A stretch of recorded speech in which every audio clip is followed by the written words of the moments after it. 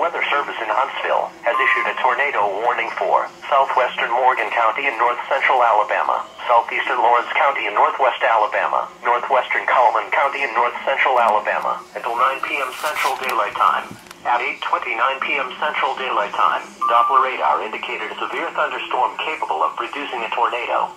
This dangerous storm was located near Addison, or near Raleigh, and moving northeast at 35 miles per hour.